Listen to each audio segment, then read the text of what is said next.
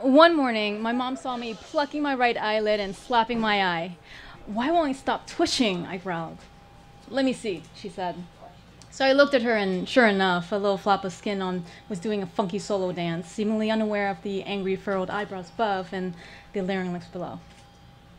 Ooh, someone's talking about you, she said giddily. What? I was nine years old.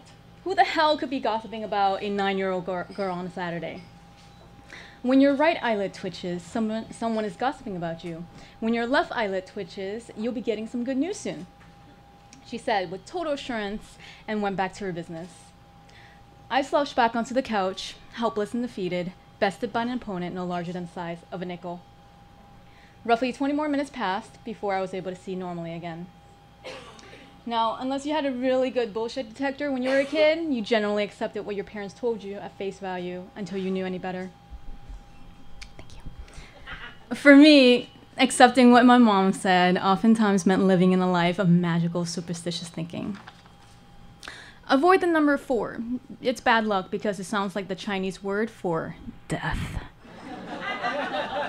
we can't have the foot of the bed facing any mirrors because ghosts.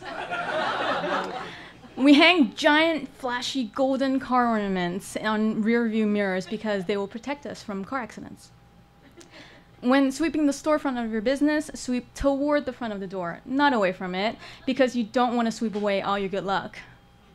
And when eating fish, eat around the bones or break the bones off. Do not flip the fish over because it symbolizes a ship capsizing, which is like a business going belly up. my mother was never shy about doling out superstitious wisdom, so my nascent concept of life was one where I was in control of my own fate while at the same time tethered by the threads of fatalism. For example, the common refrain for cleaning my bowl at dinner time wasn't that kids in Africa were starving. It was finish every speck of rice, otherwise, your future husband will be pockmarked by each grain you missed.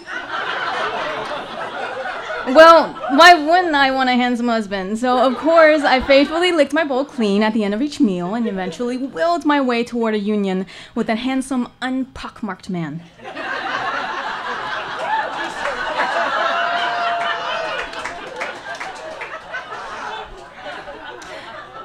and then there was a rule about drop chopsticks. Mother would often remind me and my sister to be careful when we use chopsticks because drop your chopsticks and a misfortune will befall upon you or someone you know at some point in the near future. Okay, sounds ridiculous, but wouldn't you like to know that not one hour after I dropped my chopsticks one evening, that a muffled thump cut through the air.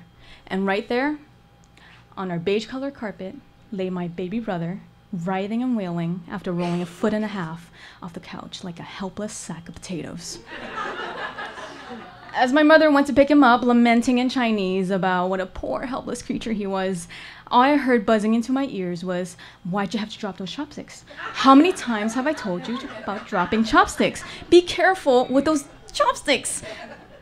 It didn't matter that she wasn't actually saying those things to me because by then, I'd already been conditioned to see that it was only a matter of time before I actually dropped my chopsticks and inevitably caused a horrifying event to take place. When it finally happened, when it, I finally dropped them, it didn't take much to convince me that I was the harbinger of my baby brother's cruel misfortune. I had sealed his fate the moment I dropped my chopsticks, my damn chopsticks. so, from that point on, with the truth laid before me, I bought into the magical, mystical power of superstitions, an omnipresent force that sees all, knows all, and if you dare test it, be prepared for its wrath. Well, this kind of mindset sustained for only so long before the cold hand of truth and logic slapped me in the face. And that slap came in the form of 10 year old Laura Ng at the beginning of my fifth grade year at Albion Elementary. Laura was the new girl in our class. Laura liked to wear turtlenecks and thick black rimmed glasses and her hair in a ponytail. Laura was from somewhere far and exotic called Northern California. and everyone in our fifth grade class was immediately intrigued by the fact that, unlike the rest of us children of immigrants who had to fall back on Chinese from time to time, she spoke only English, which made her seem extra special and extra smart. Since I was one of the resident smart kids of the class, it wasn't long before Laura and I became friends. We bonded over shared literary texts, like Harriet the Spy, and valued each other's interests, mine in drawing and hers in random science trivia. We both cared about school and learning, and we both desperately strived for A's because, well,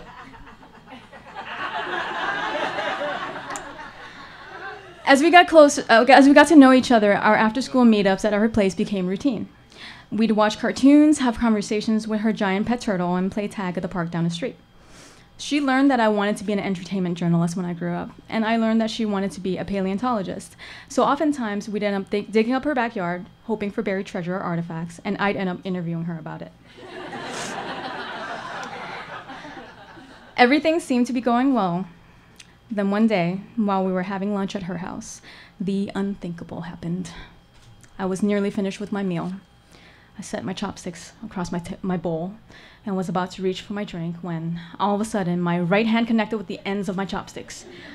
The moment my index finger made contact, everything seemed to move in slow motion.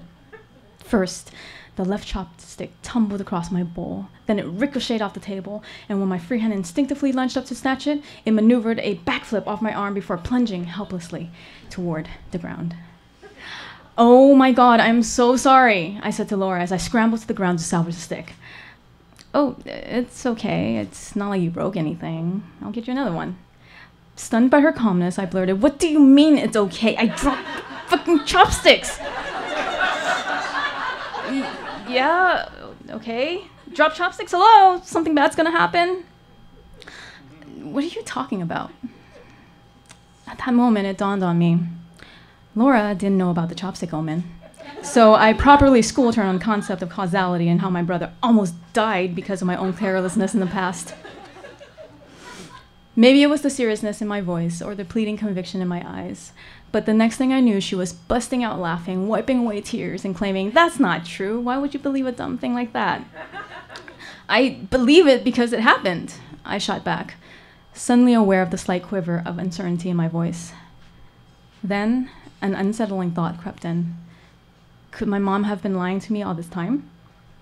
Are we not actually at the mercy of supernatural forces controlling our fates? Laura was pretty confident about being right, and since she was planning on being a brilliant scientist one day, it was hard to argue with someone as smart as her. So we decided on a scientific approach to resolve this, which was to monitor our activities for the next 24 hours for any signs of bad luck or misfortune. Being the non believer that she was, Laura was unperturbed by our agreement. I, on the other hand, was caught in a catch 22, where if I was right, something bad would have to ha- happen to prove the chopstick omen true.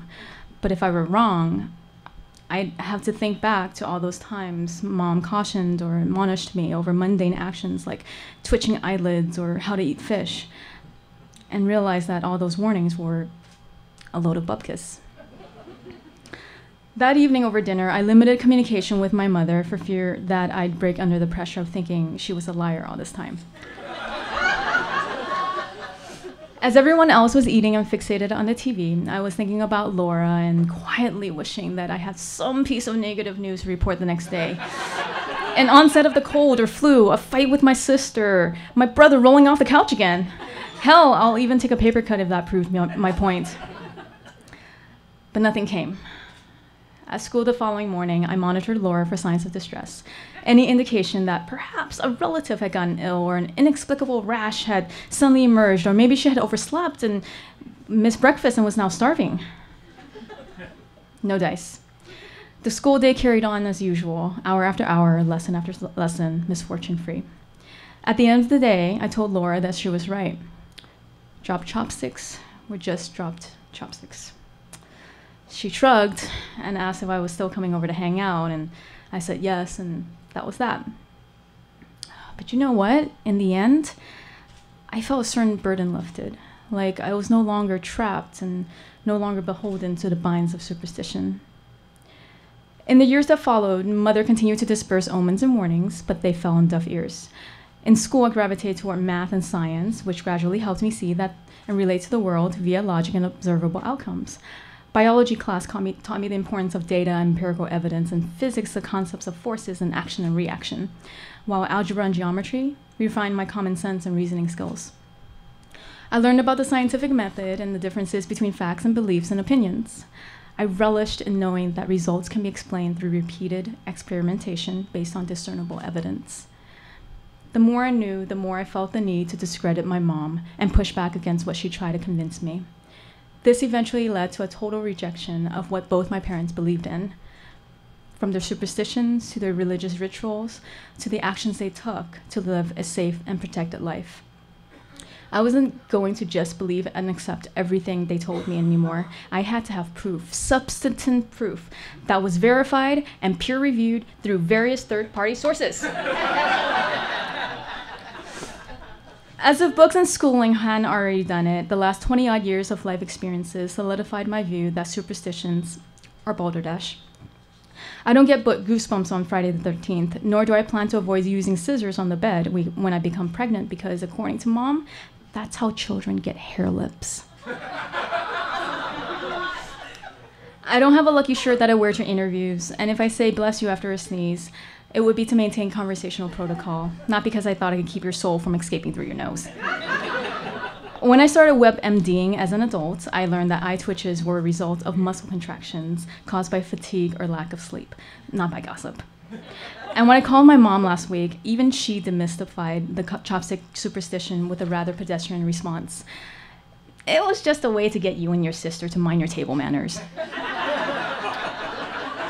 so I guess from using aside from using fear tactics to, to raise their children, my parents apparently had no problem fucking with our sense of reality in the name of dining etiquette.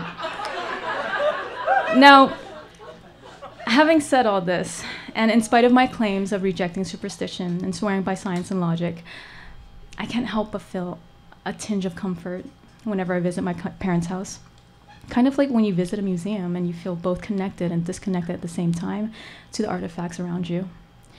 I can see the two golden lion statues outside the gate, which don't even look like lions at all, with their dragon like faces and fabulous manes of curly dollop, acting as sentinels who vet all visitors before they can meet with masters of the domicile. Past the gate, and there are the red, large red lanterns, one bleached from unrelenting days in the sun, hanging over and blessing the porch. And beyond them, the bagua, nailed above the front door, meant to deflect evil spirits.